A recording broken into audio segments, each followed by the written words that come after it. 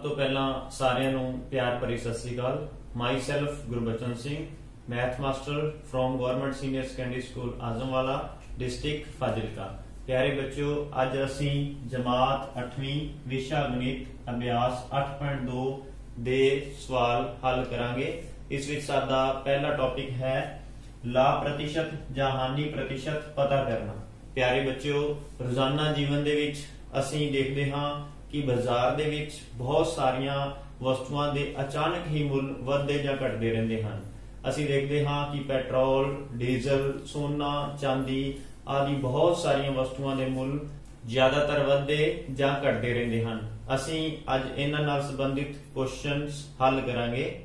ਪਿਆਰੇ ਬੱਚਿਓ, ਆਓ ਕਰਦੇ ਹਾਂ ਉਦਾਹਰਣ ਨੰਬਰ 2 ਪਿਛਲੇ ਸਾਲ ਇੱਕ ਸਕੂਟਰ ਦਾ ਮੁੱਲ 34000 ਰੁਪਏ ਸੀ।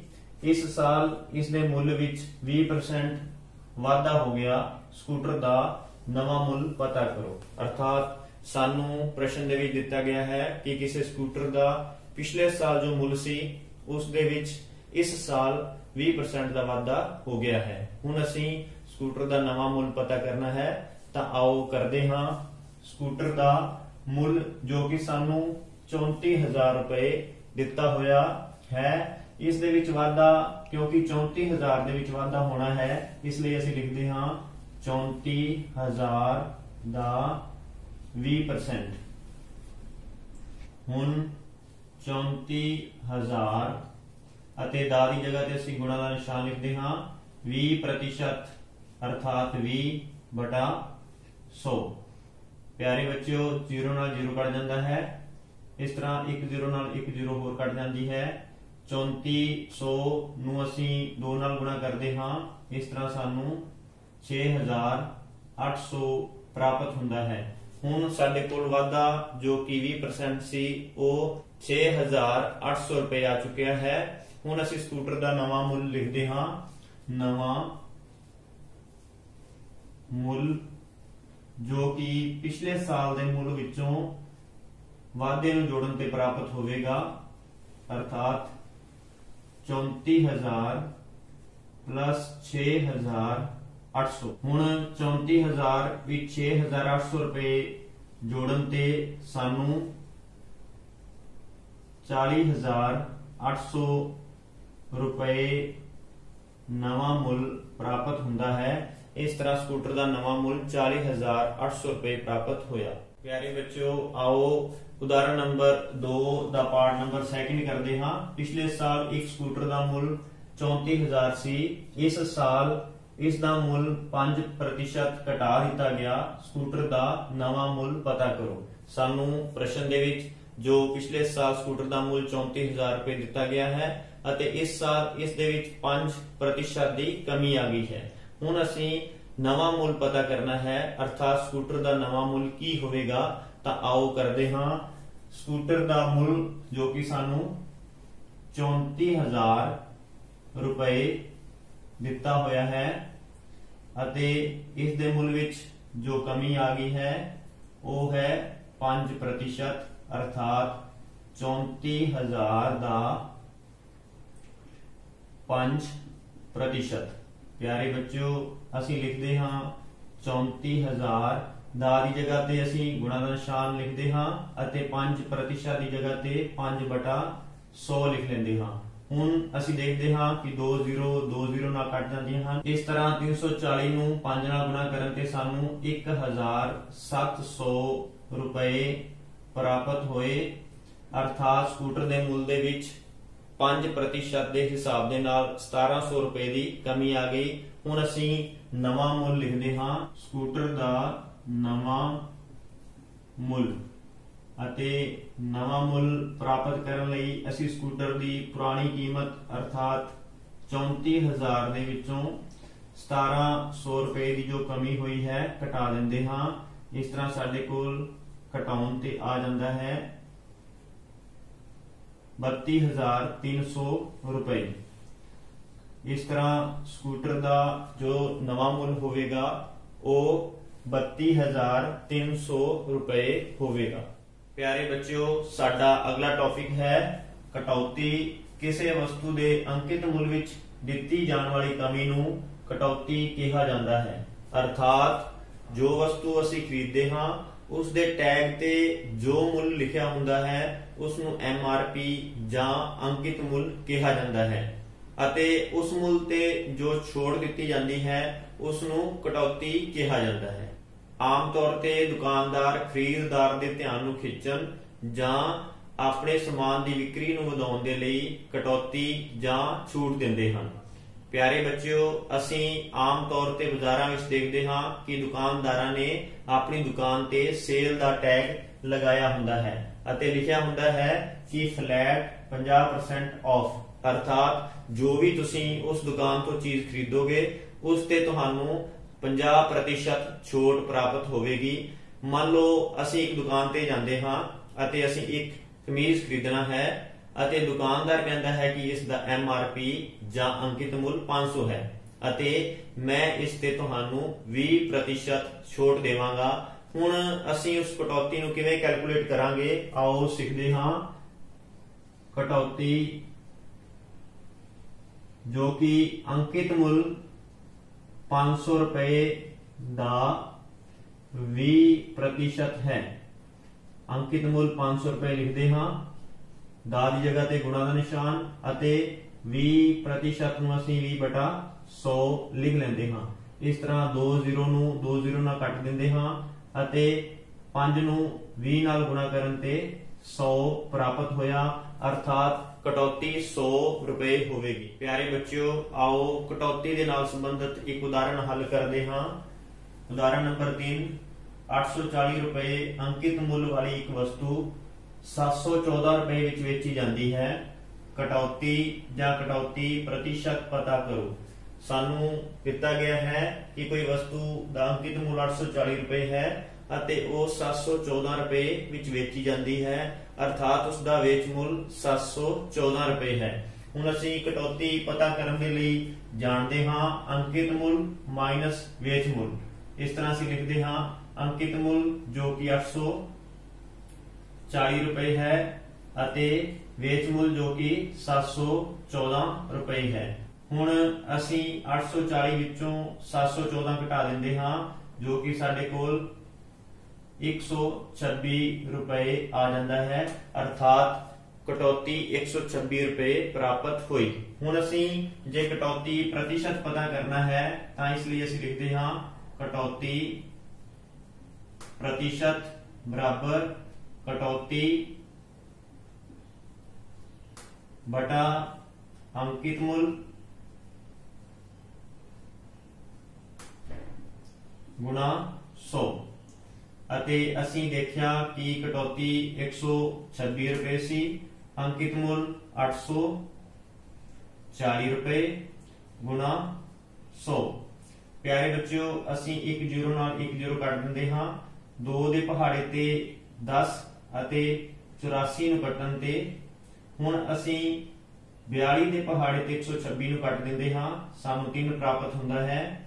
3 ਨੂੰ 5 ਨਾਲ ਗੁਣਾ ਕਰਨ ਤੇ 15 ਇਸ ਤਰ੍ਹਾਂ ਸਾਨੂੰ ਕਟੌਤੀ 15% ਪ੍ਰਾਪਤ ਹੋਈ। ਪਿਆਰੇ ਬੱਚਿਓ, ਆਓ ਕਟੌਤੀ ਨਾਲ ਸੰਬੰਧਿਤ ਇੱਕ ਉਦਾਹਰਣ ਉਦਾਹਰਣ ਨੰਬਰ 4 ਕਰਦੇ ਹਾਂ। ਇੱਕ ਫਰਾਕ ਦਾ ਸੂਚੀ ਮੁੱਲ 220 ਰੁਪਏ ਹੈ। ਸੇਲ ਵਿੱਚ 20% ਕਟੌਤੀ ਦੀ ਘੋਸ਼ਣਾ ਕੀਤੀ ਜਾਂਦੀ ਹੈ। ਇਸ ਫਰਾਕ ਦੀ ਕਟੌਤੀ ਦੀ ਰਾਸ਼ੀ ਕੀ ਹੈ ਅਤੇ ਇਸ ਦਾ ਵੇਚ ਮੁੱਲ ਵੀ ਪਤਾ ਕਰੋ। ਪਿਆਰੇ ਬੱਚਿਓ, ਸਾਨੂੰ ਸੂਚੀ ਮੁੱਲ ਅਰਥਾਤ ਅੰਕਿਤ ਮੁੱਲ 220 ਰੁਪਏ ਦਿੱਤਾ ਗਿਆ ਹੈ। ਸੂਚੀ ਮੁੱਲ ਅਤੇ ਅੰਕਿਤ ਮੁੱਲ ਦੋਨੋਂ ਸਮਾਨ ਹੁੰਦੇ ਹਨ। ਹੁਣ ਸੇਲ ਵਿੱਚ 20% ਕਟੌਤੀ ਦੀ ਘੋਸ਼ਣਾ ਕੀਤੀ ਗਈ ਹੈ ਅਤੇ ਅਸੀਂ ਕਟੌਤੀ ਦੀ ਰਾਸ਼ੀ ਅਤੇ ਫਰਾਕ ਦਾ ਵੇਚ ਮੁੱਲ ਪਤਾ ਕਰਨਾ ਹੈ। ਆਓ ਕਰਦੇ ਹਾਂ। ਅਸੀਂ ਲਿਖਦੇ ਹਾਂ ਕਟੌਤੀ ਜੋ ਕਿ ਅੰਕਿਤ ਮੁੱਲ 220 ਰੁਪਏ ਦਾ 20% ਹੈ। ਹੁਣ ਅਸੀਂ 220 ਅਤੇ ਦਾ ਦੀ ਜਗ੍ਹਾ ਤੇ ਗੁਣਾ ਦਾ ਨਿਸ਼ਾਨ 20% ਦੀ ਜਗ੍ਹਾ ਤੇ ਅਸੀਂ 20 ਬਟਾ 100 ਲਿਖ ਲੈਂਦੇ ਹਾਂ। ਇਸ ਜ਼ੀਰੋ ਨੂੰ ਅਸੀਂ ਇਸ ਜ਼ੀਰੋ ਨਾਲ ਕੱਟ ਦਿੰਦੇ ਹਾਂ ਅਤੇ ਦੂਸਰੀ ਜ਼ੀਰੋ ਨੂੰ ਅਸੀਂ ਇਸ ਜ਼ੀਰੋ ਨਾਲ ਕੱਟ ਦਿੰਦੇ ਹਾਂ। ਹੁਣ 22 ਨੂੰ 2 ਨਾਲ ਗੁਣਾ ਕਰਨ ਤੇ 44 ਅਰਥਾਤ ਕਟੌਤੀ 40 ਰੁਪਏ ਪ੍ਰਾਪਤ ਹੋਈ ਹੁਣ ਅਸੀਂ ਫਰਾਕ ਦਾ ਵੇਚ ਮੁੱਲ ਪਤਾ ਕਰਨਾ ਹੈ। ਵੇਚ ਮੁੱਲ ਜੋ ਕਿ ਅੰਕਿਤ ਮੁੱਲ 220 ਰੁਪਏ ਵਿੱਚੋਂ 44 ਰੁਪਏ ਕਟੌਤੀ ਨੂੰ ਘਟਾਉਣ ਤੇ ਪ੍ਰਾਪਤ ਹੋਵੇਗਾ। ਇਸ ਤਰ੍ਹਾਂ ਅਸੀਂ 220 ਵਿੱਚੋਂ 44 ਨੂੰ ਘਟਾ ਕੇ 176 ਰੁਪਏ ਪ੍ਰਾਪਤ ਕਰਦੇ ਹਾਂ। ਅਰਥਾਤ ਫਰਾਕ ਦਾ ਵੇਚ ਮੁੱਲ 176 ਰੁਪਏ ਹੋਵੇਗਾ। ਪਿਆਰੇ ਬੱਚਿਓ, ਆਓ ਉਦਾਹਰਣ ਨੰਬਰ 5 ਕਰਦੇ ਹਾਂ। ਸੋਹਨ ਨੇ ਇੱਕ ਫ੍ਰਿਜ 2500 ਰੁਪਏ ਵਿੱਚ ਖਰੀਦਿਆ। ਉਸਨੇ 500 ਰੁਪਏ ਉਸ ਦੀ ਮੁਰੰਮਤ ਤੇ ਖਰਚ ਕੀਤੇ ਅਤੇ 3300 ਰੁਪਏ ਵਿੱਚ ਵੇਚ ਦਿੱਤਾ। ਉਸ ਦਾ ਲਾਭ ਜਾਂ ਹਾਨੀ ਪ੍ਰਤੀਸ਼ਤ ਪਤਾ ਕਰੋ। ਪਿਆਰੇ ਬੱਚਿਓ ਸੋਹਨ ਨੇ ਇੱਕ ਫ੍ਰਿਜ 2500 ਰੁਪਏ ਵਿੱਚ ਖਰੀਦਿਆ। ਅਤੇ ਉਸਨੇ ਉਸ ਦੀ ਮੁਰੰਮਤ ਤੇ 500 ਰੁਪਏ ਹੋਰ ਖਰਚ ਕਰ ਦਿੱਤੇ। ਇਸ ਤਰ੍ਹਾਂ ਸੋਹਨ ਦਾ ਕੁੱਲ ਖਰੀਦ ਮੁੱਲ 2500 ਰੁਪਏ ਪਲੱਸ 500 ਰੁਪਏ ਜੋ ਉਸਨੇ ਮੁਰੰਮਤ ਤੇ ਖਰਚ ਕੀਤੇ ਜੋੜ ਦਿੰਦੇ ਹਾਂ। ਇਸ ਤਰ੍ਹਾਂ 2500 ਵਿੱਚ 500 ਜੋੜਨ ਤੇ ਸਾਨੂੰ 3000 ਰੁਪਏ ਪ੍ਰਾਪਤ ਹੁੰਦੇ ਹਨ। ਅਰਥਾਤ ਸੋਹਨ ਦਾ ਕੁੱਲ ਖਰੀਦ ਮੁੱਲ 3000 ਰੁਪਏ ਹੋਇਆ। ਹੁਣ ਉਸਨੇ ਉਸ ਫਰਿੱਜ ਨੂੰ 3300 ਰੁਪਏ ਵਿੱਚ ਵੇਚ ਦਿੱਤਾ।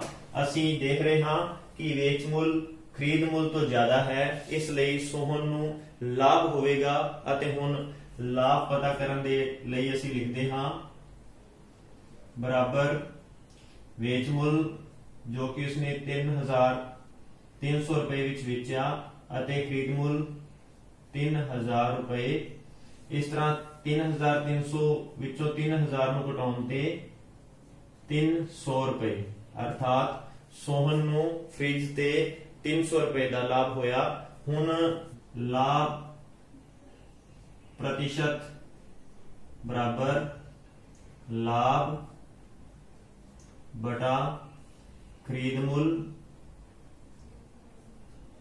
ਗੁਣਾ 100 ਇਸ ਤਰ੍ਹਾਂ ਅਸੀਂ ਦੇਖਦੇ ਹਾਂ ਕਿ ਲਾਭ 300 ਰੁਪਏ ਹੈ ਅਤੇ ਖਰੀਦ ਮੁੱਲ 3000 ਰੁਪਏ ਸੀ ਗੁਣਾ 100 ਇਸ ਤਰ੍ਹਾਂ ਅਸੀਂ 20 ਨਾਲ 20 ਕੱਟ ਦਿੰਦੇ ਹਾਂ ਅਤੇ 10 ਨਾਲ 10 ਕੱਟ ਦਿੰਦੇ ਹਾਂ। ਹੁਣ 3 ਦੇ ਪਹਾੜੇ ਤੇ 3 ਕੱਟਣ ਤੇ ਸਾਨੂੰ 10 ਪ੍ਰਾਪਤ ਹੁੰਦਾ ਹੈ।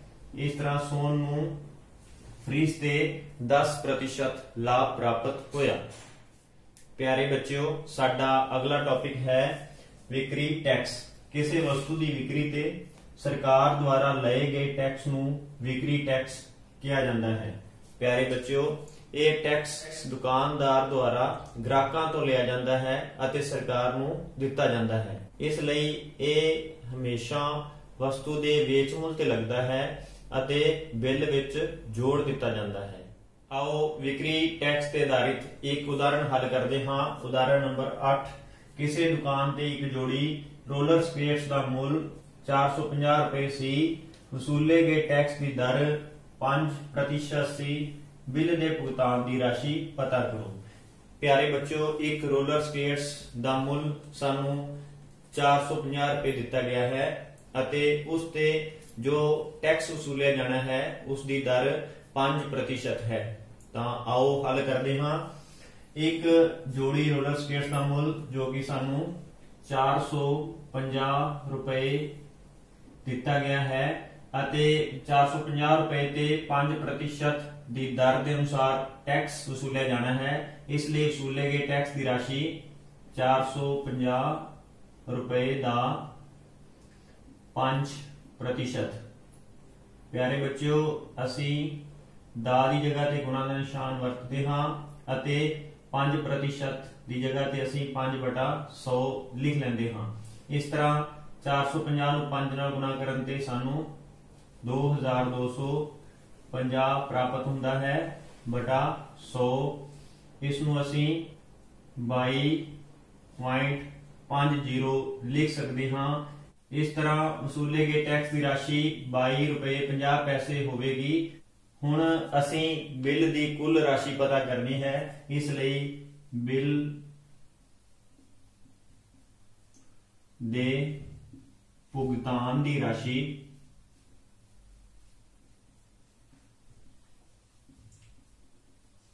ਜਿਸ ਨੂੰ ਕਿ ਅਸੀਂ 450 ਰੁਪਏ ਦੇ ਵਿੱਚ ਟੈਕਸ ਜੋ ਕਿ 22 ਰੁਪਏ 50 ਪੈਸੇ ਹੈ ਜੋੜ ਕੇ ਪ੍ਰਾਪਤ ਕਰਦੇ ਹਾਂ। ਇਸ ਤਰ੍ਹਾਂ 450 ਰੁਪਏ ਵਿੱਚ 22 ਰੁਪਏ 50 ਪੈਸੇ ਜੋੜਨ ਤੇ ਸਾਨੂੰ 472 ਰੁਪਏ 50 ਪੈਸੇ ਪ੍ਰਾਪਤ ਹੁੰਦਾ ਹੈ। ਅਰਥਾਤ ਬਿੱਲ ਦੇ ਭੁਗਤਾਨ ਦੀ ਰਾਸ਼ੀ 472 ਰੁਪਏ 50 ਪੈਸੇ ਹੋਵੇਗੀ ਪਿਆਰੇ ਬੱਚਿਓ, ਆਓ ਉਦਾਹਰਨ ਨੰਬਰ 9 ਕਰਦੇ ਹਾਂ। ਵਹੀਤਾ ਨੇ ਕੂਲਰ 10% ਟੈਕਸ ਸਮੇਤ 3300 ਰੁਪਏ ਵਿੱਚ ਖਰੀਦਿਆ ਹੈ। ਵੈਟ ਦੇ ਜੁੜਨ ਤੋਂ ਪਹਿਲਾਂ ਕੂਲਰ ਦਾ ਮੁੱਲ ਪਤਾ ਕਰੋ। ਪਿਆਰੇ ਬੱਚਿਓ, ਵਹੀਦਾ ਨੇ ਇੱਕ ਕੂਲਰ 3300 ਰੁਪਏ ਵਿੱਚ ਖਰੀਦਿਆ ਹੈ, ਜਿਸ ਵਿੱਚ ਕੀ ਖਰੀਦ ਮੁੱਲ ਅਤੇ ਵਿਕਰੀ ਟੈਕਸ ਜੁੜਿਆ ਹੋਇਆ ਹੈ। ਅਸੀਂ ਕੂਲਰ ਦਾ ਖਰੀਦ ਮੁੱਲ ਪਤਾ ਕਰਨਾ ਹੈ, ਤਾਂ ਆਓ ਕਰਦੇ ਹਾਂ। ਮੰਨ ਲਓ ਕੂਲਰ ਦਾ ਖਰੀਦ ਮੁੱਲ x ਰੁਪਏ ਹੈ ਅਤੇ ਭੁਗਤਾਨ ਦੀ ਰਾਸ਼ੀ 3300 ਰੁਪਏ ਦਿੱਤੀ ਹੋਈ ਹੈ। ਅਸੀਂ ਜਾਣਦੇ ਹਾਂ ਕਿ ਭੁਗਤਾਨ ਦੀ ਰਾਸ਼ੀ ਦੇ ਵਿੱਚ ਖਰੀਦ ਮੁੱਲ ਅਤੇ ਵਿਕਰੀ ਟੈਕਸ ਜੁੜਿਆ ਹੋਇਆ ਹੈ। ਬਰਾਬਰ 3300 ਹੁਣ ਖਰੀਦ ਮੁੱਲ 100 ਰੁਪਏ ਹੈ ਅਤੇ ਵਿਕਰੀ ਟੈਕਸ ਖਰੀਦ ਮੁੱਲ ਦਾ 10% ਹੈ। ਅਰਥਾਤ x ਦਾ 10% ਬਰਾਬਰ 3300 ਇਸ ਤਰ੍ਹਾਂ ਅਸੀਂ ਲਿਖਦੇ ਹਾਂ x x ਦਾ ਦੀ ਜਗ੍ਹਾ ਤੇ ਗੁਣਾ ਦਾ ਨਿਸ਼ਾਨ ਵਰਤਦੇ ਹਾਂ। 10% ਲਈ 10 ਬਟਾ 100 ਬਰਾਬਰ 3300 ਹੁਣ ਅਸੀਂ ਇੱਕ 0 ਨਾਲ 0 ਕੱਟ ਦਿੰਦੇ ਹਾਂ। ਇਸ ਤਰ੍ਹਾਂ ਅਸੀਂ ਲਿਖਦੇ ਹਾਂ x x ਨੂੰ 1 ਨਾਲ ਗੁਣਾ ਕਰਨ ਤੇ x ਬਟਾ 10 3300 ਹੁਣ ਅਸੀਂ x ਅਤੇ x 10 ਦਾ ਜੋੜ ਕਰਨ ਲਈ LCM 10 ਲੈ ਲੈਂਦੇ ਹਾਂ। ਅਸੀਂ ਜਾਣਦੇ ਹਾਂ ਕਿ x ਦਾ ਬਟਾ 1 ਹੈ ਅਤੇ 1 ਦੇ ਪਹਾੜੇ ਤੇ 10 ਨੂੰ ਪਾ ਕਰਨ ਤੇ 10 ਅਤੇ 10 ਨੂੰ x ਨਾਲ ਗੁਣਾ ਕਰਨ ਤੇ 10x 10 ਦੇ ਪਹਾੜੇ ਤੇ 10 ਨੂੰ ਪਾ ਕਰਨ ਤੇ 1 ਅਤੇ 1 ਨੂੰ x ਨਾਲ ਗੁਣਾ ਕਰਨ ਤੇ x ਬਰਾਬਰ। 3300 ਇਸ ਤਰ੍ਹਾਂ 10x ਵਿੱਚ 1x ਜੋੜਨ ਤੇ 11x 10 ਬਰਾਬਰ 3300 ਹੁਣ ਅਸੀਂ x ਦਾ ਮੁੱਲ ਪਤਾ ਕਰਨ ਦੇ ਲਈ 11 10 ਦੀ ਤਿਰਛੀ ਗੁਣਾ 3300 ਨਾਲ ਕਰ ਦੇਵਾਂਗੇ। ਇਸ ਤਰ੍ਹਾਂ ਅਸੀਂ ਦੇਖਦੇ ਹਾਂ x ਬਰਾਬਰ 3300 ਗੁਣਾ 10 ਅਤੇ ਭਾਗ 11 11 ਦੇ ਪਹਾੜੇ ਤੇ 3300 ਨੂੰ ਕੱਟਣ ਤੇ 300 ਇਸ ਤਰ੍ਹਾਂ x 300 ਨੂੰ 10 ਨਾਲ ਗੁਣਾ ਕਰਨ ਤੇ 3000 ਅਰਥਾਤ ਕੂਲਰ ਦਾ ਖਰੀਦ ਮੁੱਲ 3000 ਰੁਪਏ ਪ੍ਰਾਪਤ ਹੋਇਆ। ਪਿਆਰੇ ਬੱਚਿਓ, ਆਓ ਅਭਿਆਸ 8.2 ਦਾ ਕੁਐਸਚਨ ਨੰਬਰ 1 ਹੱਲ ਕਰੀਏ। ਇੱਕ ਵਿਅਕਤੀ ਦੀ ਤਨਖਾਹ ਵਿੱਚ 10% ਦਾ ਵਾਧਾ ਹੁੰਦਾ ਹੈ। ਜੇ ਉਸ ਦੀ ਨਵੀਂ ਤਨਖਾਹ 154000 ਹੈ, ਤਾਂ ਉਸ ਦੀ ਮੂਲ ਤਨਖਾਹ ਪਤਾ ਕਰੋ। ਪਿਆਰੇ ਬੱਚਿਓ, ਸਾਨੂੰ ਪ੍ਰਸ਼ਨ ਦੇ ਵਿੱਚ ਦਿੱਤਾ ਗਿਆ ਹੈ ਕਿ ਕਿਸੇ ਵਿਅਕਤੀ ਦੀ ਮੂਲ ਤਨਖਾਹ ਦੇ ਵਿੱਚ 10% ਵਾਧਾ ਹੋਣ ਤੇ ਉਸ ਦੀ ਨਵੀਂ ਤਨਖਾਹ 154000 ਹੋ ਜਾਂਦੀ ਹੈ। ਅਸੀਂ ਮੂਲ ਤਨਖਾਹ ਪਤਾ ਕਰਨੀ ਹੈ। ਤਾਂ ਆਓ ਪਤਾ ਕਰਦੇ ਹਾਂ, ਮੰਨ ਲਓ ਵਿਅਕਤੀ ਦੀ ਮੂਲ ਤਨਖਾਹ x ਰੁਪਏ ਹੈ ਅਤੇ ਨਵੀਂ ਤਨਖਾਹ ਸਾਨੂੰ 154000 ਦਿੱਤੀ ਹੋਈ ਹੈ। ਪਿਆਰੇ ਬੱਚਿਓ, ਇੱਥੇ ਇੱਕ ਗੱਲ ਧਿਆਨ ਰੱਖਣ ਯੋਗ ਹੈ ਕਿ ਨਵੀਂ ਤਨਖਾਹ ਜੋ ਉਸ ਵਿਅਕਤੀ ਦੀ ਹੈ, ਉਹ ਮੂਲ ਤਨਖਾਹ ਦੇ ਵਿੱਚ ਮੂਲ ਤਨਖਾਹ ਦਾ 10% ਵਾਧਾ ਜੁੜਨ ਤੇ ਬਣੀ ਹੈ। ਇਸ ਤਰ੍ਹਾਂ ਅਸੀਂ ਲਿਖ ਸਕਦੇ ਹਾਂ, ਮੂਲ ਤਨਖਾਹ ਪਲੱਸ ਵਾਧਾ ਇਸ ਤਰ੍ਹਾਂ ਬਰਾਬਰ 1 ਲੱਖ 54000 ਮੂਲ ਤਨਖਾਹ ਜੋ ਕਿ ਅਸੀਂ 100 ਰੁਪਏ ਲਿਖ ਚੁੱਕੇ ਹਾਂ ਅਤੇ ਵਾਧਾ ਮੂਲ ਤਨਖਾਹ ਦਾ 10% ਵਾਧਾ ਹੁੰਦਾ ਹੈ ਬਰਾਬਰ 1 ਲੱਖ 54000 ਹੁਣ ਅਸੀਂ x x ਦਾ ਦੀ ਜਗ੍ਹਾ ਤੇ ਗੁਣਾ ਦਾ ਨਿਸ਼ਾਨ ਲਿਖਦੇ ਹਾਂ ਅਤੇ 10% ਨੂੰ ਅਸੀਂ 10 ਵਟਾ 100 ਲਿਖ ਲੈਂਦੇ ਹਾਂ, ਬਰਾਬਰ 1 ਲੱਖ 54000 ਹੁਣ x 1 0 ਨਾਲ 0 ਕੱਟ ਜਾਂਦੀ ਹੈ ਅਤੇ x ਨੂੰ 1 ਨਾਲ ਗੁਣਾ ਕਰਨ ਤੇ x ਬਟਾ 10 ਬਰਾਬਰ 1 ਲੱਖ 54000 ਹੁਣ ਅਸੀਂ x ਅਤੇ x 10 ਦਾ ਜੋੜ ਕਰ ਲੈਂਦੇ ਹਾਂ। ਜੋੜ ਕਰਨ ਦੇ ਲਈ ਅਸੀਂ LCM 10 ਲੈ ਲੈਂਦੇ ਹਾਂ।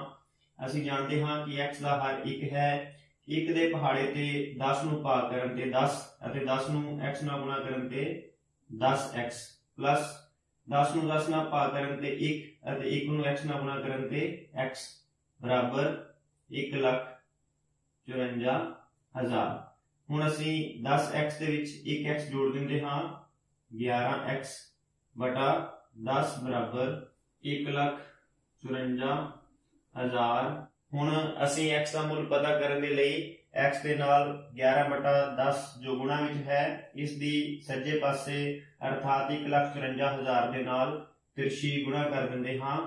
ਆਓ ਕਰਦੇ ਹਾਂ x ਬਰਾਬਰ 1 ਲੱਖ 54000 ਗੁਣਾ 10 ਬਟਾ 11 11 ਦੇ ਪਹਾੜੇ ਤੇ 154000 ਨੂੰ ਕੱਟਣ ਤੇ 14000 ਇਸ ਤਰ੍ਹਾਂ x ਬਰਾਬਰ 14000 ਨੂੰ 10 ਨਾਲ ਗੁਣਾ ਕਰਨ ਤੇ 140000 ਇਸ ਤਰ੍ਹਾਂ ਵਿਅਕਤੀ ਦੀ ਮੂਲ ਤਨਖਾਹ 140000 ਰੁਪਏ ਹੋਵੇ। ਕੁਐਸਚਨ ਨੰਬਰ 2 ਐਤਵਾਰ ਨੂੰ 845 ਵਿਅਕਤੀ ਚਿੜੀਆ ਘਰ ਗਏ। ਸੋਮਵਾਰ ਨੂੰ ਸਿਰਫ 169 ਵਿਅਕਤੀ ਹੀ ਗਏ। ਅਰਥਾਤ ਐਤਵਾਰ ਦੇ ਮੁਕਾਬਲੇ ਸੋਮਵਾਰ ਨੂੰ ਚਿੜੀਆ ਘਰ ਦੀ ਸੈਰ ਕਰਨ ਵਾਲੇ ਵਿਅਕਤੀਆਂ ਵਿੱਚ ਬਹੁਤ ਕਮੀ ਆਈ। ਚਿੜੀਆ ਘਰ ਦੀ ਸੈਰ ਕਰਨ ਵਾਲੇ ਵਿਅਕਤੀਆਂ ਦੀ ਸੰਖਿਆ ਵਿੱਚ ਸੋਮਵਾਰ ਨੂੰ ਕਿੰਨੇ ਪ੍ਰਤੀਸ਼ਤ ਕਮੀ ਆਈ, ਇਹ ਅਸੀਂ ਪਤਾ ਕਰਨਾ ਹੈ। ਤਾਂ ਆਓ ਕਰਦੇ ਹਾਂ।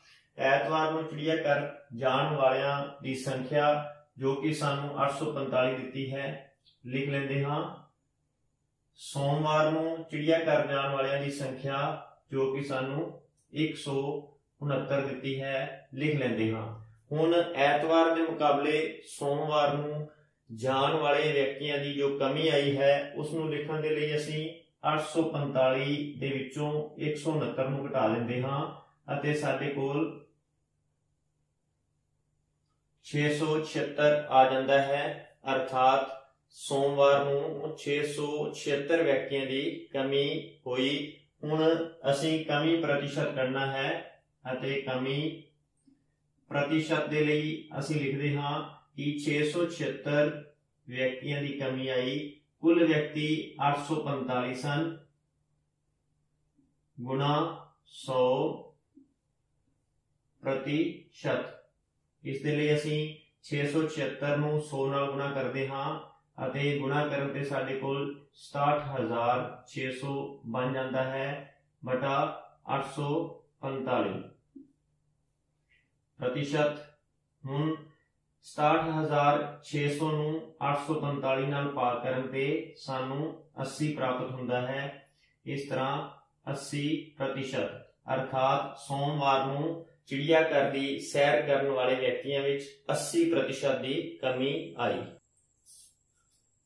ਕੁਐਸਚਨ ਨੰਬਰ 3 ਇੱਕ ਦੁਕਾਨਦਾਰ 2400 ਰੁਪਏ ਵਿੱਚ 80 ਵਸਤੂਆਂ ਖਰੀਦਦਾ ਹੈ ਅਤੇ ਉਹਨਾਂ ਨੂੰ 16% ਲਾਭ ਤੇ ਵੇਚਦਾ ਹੈ। ਇੱਕ ਵਸਤੂ ਦਾ ਵੇਚ ਮੁੱਲ ਪਤਾ ਕਰੋ। ਸਾਨੂੰ ਪ੍ਰਸ਼ਨ ਦੇ ਵਿੱਚ ਦਿੱਤਾ ਗਿਆ ਹੈ ਕਿ ਇੱਕ ਦੁਕਾਨਦਾਰ 80 ਵਸਤੂਆਂ 2400 ਰੁਪਏ ਵਿੱਚ ਖਰੀਦਦਾ ਹੈ ਅਤੇ ਉਹਨਾਂ ਨੂੰ 16% ਲਾਭ ਤੇ ਵੇਚ ਦਿੰਦਾ ਹੈ। ਅਸੀਂ ਇੱਕ ਵਸਤੂ ਦਾ ਵੇਚ ਮੁੱਲ ਪਤਾ ਕਰਨਾ ਹੈ, ਤਾਂ ਆਓ ਕਰਦੇ ਹਾਂ।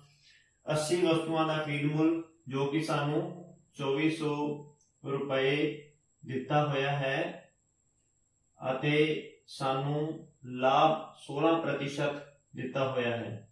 ਹੁਣ ਅਸੀਂ ਕੁੱਲ ਲਾਭ ਪਤਾ ਕਰਦੇ ਹਾਂ ਅਤੇ ਲਾਭ ਪਤਾ ਕਰਨ ਦੇ ਲਈ ਅਸੀਂ ਲਿਖਦੇ ਹਾਂ ਲਾਭ ਬਰਾਬਰ, ਕਿਉਂਕਿ 2400 ਰੁਪਏ ਤੇ 16% ਲਾਭ ਹੁੰਦਾ ਹੈ, ਇਸ ਲਈ ਲਿਖਦੇ ਹਾਂ 2400 ਦਾ 16% ਬਰਾਬਰ 2400 ਦਾ ਦੇ ਲਈ ਅਸੀਂ ਗੁਣਾ ਦਾ ਨਿਸ਼ਾਨ ਵਰਤਦੇ ਹਾਂ ਅਤੇ 16% ਦੇ ਲਈ 16 ਬਟਾ 100 ਹੁਣ 2 0 ਨੂੰ 2 0 ਨਾਲ ਕੱਟ ਦਿੰਦੇ ਹਾਂ 24 ਨੂੰ 16 ਨਾਲ ਗੁਣਾ ਕਰਨ ਤੇ ਸਾਨੂੰ 384 ਪ੍ਰਾਪਤ ਹੁੰਦਾ ਹੈ, ਅਰਥਾਤ ਲਾਭ 384 ਰੁਪਏ। ਹੁਣ ਅਸੀਂ 80 ਵਸਤੂਆਂ ਦਾ ਵੇਚ ਮੁੱਲ ਪਤਾ ਕਰਦੇ ਹਾਂ। 80 ਵਸਤੂਆਂ ਦਾ ਵੇਚ ਮੁੱਲ ਬਰਾਬਰ ਖਰੀਦ ਮੁੱਲ 2400 ਰੁਪਏ ਪਲੱਸ ਲਾਭ 384 ਰੁਪਏ ਇਸ ਤਰ੍ਹਾਂ 2400 ਵਿੱਚ 384 ਨੂੰ ਜੋੜਨ ਤੇ 2784 ਰੁਪਏ ਅਰਥਾਤ 80 ਵਸਤੂਆਂ ਦਾ ਕੁੱਲ ਵੇਚ ਮੁੱਲ 2784 ਰੁਪਏ ਪ੍ਰਾਪਤ ਹੋਇਆ ਹੁਣ ਅਸੀਂ ਇੱਕ ਵਸਤੂ ਦਾ ਵੇਚ ਮੁੱਲ ਪਤਾ ਕਰਦੇ ਹਾਂ। ਇੱਕ ਵਸਤੂ ਦਾ ਵੇਚ ਮੁੱਲ ਅਤੇ ਇੱਕ ਵਸਤੂ ਦਾ ਵੇਚ ਮੁੱਲ ਪਤਾ ਕਰਨ ਦੇ ਲਈ ਅਸੀਂ 2784 ਨੂੰ 80 ਨਾਲ ਭਾਗ ਕਰ ਦਿੰਦੇ ਹਾਂ ਅਤੇ 80 ਨਾਲ ਭਾਗ ਕਰਨ ਤੇ ਸਾਨੂੰ 34.80 ਪ੍ਰਾਪਤ ਹੁੰਦਾ ਹੈ। ਅਰਥਾਤ ਇੱਕ ਵਸਤੂ ਦਾ ਵੇਚ ਮੁੱਲ 34 ਰੁਪਏ 80 ਪੈਸੇ ਪ੍ਰਾਪਤ ਪਿਆਰੇ ਬੱਚਿਓ, ਜੋ ਟੌਪਿਕਸ ਅਸੀਂ ਅੱਜ ਕੀਤੇ, ਉਹਨਾਂ ਤੇ ਆਧਾਰਿਤ ਕੁਝ ਕੁਐਸਚਨ ਹਨ। ਕੁਐਸਚਨ ਨੰਬਰ 1 ਇੱਕ ਦੁਕਾਨ 20% ਕਟੌਤੀ ਦਿੰਦੀ ਹੈ। ਹੇਠ ਲਿਖਿਆ ਵਿੱਚ ਹਰੇਕ ਦਾ ਵੇਚ ਮੁੱਲ ਕੀ ਹੋਵੇਗਾ? ਪਾਰਟ A 120 ਰੁਪਏ ਅੰਕਿਤ ਮੁੱਲ ਵਾਲੀ ਇੱਕ ਪੋਸ਼ਾਕ। ਪਾਰਟ ਨੰਬਰ B 750 ਰੁਪਏ ਅੰਕਿਤ ਮੁੱਲ ਵਾਲੇ ਇੱਕ ਜੁੱਤੀਆਂ ਦਾ ਜੋੜਾ, ਪਾਰਟ ਨੰਬਰ C 250 ਰੁਪਏ ਅੰਕਿਤ ਮੁੱਲ ਵਾਲਾ ਇੱਕ ਥੈਲਾ। ਪਿਆਰੇ ਬੱਚਿਓ, ਤੁਸੀਂ ਇਹ ਕੁਐਸਚਨਸ ਆਪਣੀਆਂ ਕਾਪੀਆਂ ਤੇ ਕਰਨੇ ਹਨ ਅਤੇ ਆਪਣੇ ਅਧਿਆਪਕ ਸਹਿਬਾਨ ਤੋਂ ਚੈੱਕ ਕਰਵਾ ਲੈਣੇ ਹਨ। ਤੁਹਾਡਾ ਸਾਰਿਆਂ ਦਾ ਬਹੁਤ ਬਹੁਤ ਧੰਨਵਾਦ।